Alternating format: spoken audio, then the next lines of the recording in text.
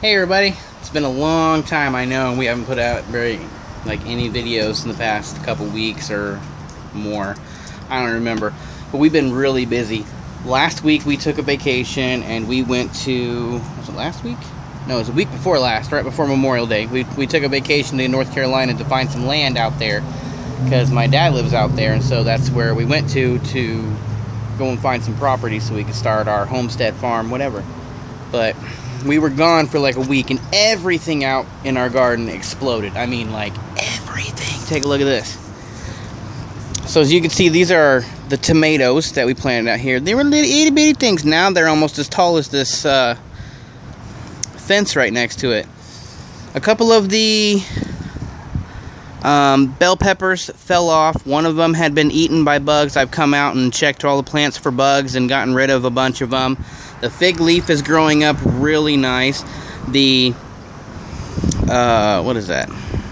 That's the grapevine. The grapevine's super happy. It's clinging to this like for dear life. It's sprouting out new leaves. It looks beautiful. I'm going to come around the corner here. Look at that corn!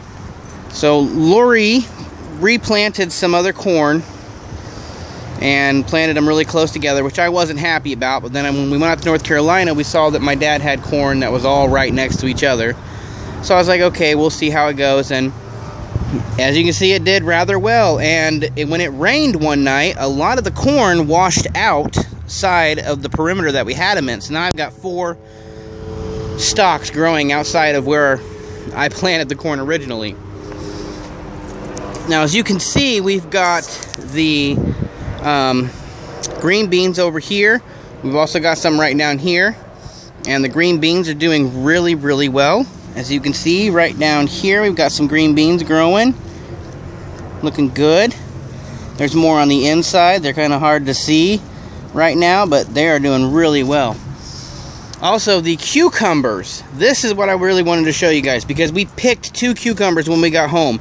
Because one of them, here's a cucumber that's that's still growing right here. We've got bees all over here for some reason. Have no idea why, but there's bees over here. And you can see there's the big cucumber right there. Oh my goodness, look at this thing. It's massive. The we've got another one down there somewhere over there. And our watermelon plant is doing great as well. Might be kind of hard to see, but we've got one growing back here. That's the only one I can see so far. Tomatoes are doing great.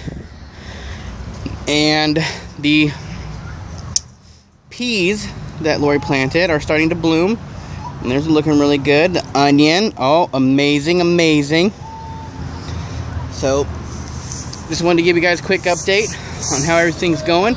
Sorry about the shoddy camera work. Our, we were using our phones before to record the videos, but they kept running out of memory, which, well, I, I don't, I don't blame them. We've put a lot of stuff on our phones, so it's kind of hard. But so we're using a little tablet now. I'm gonna try to figure out something else. Maybe get a small camera or something so we can start doing this. Um, I recently started doing some. I told Lori told you that we I was to start showing you some of the stuff that I build.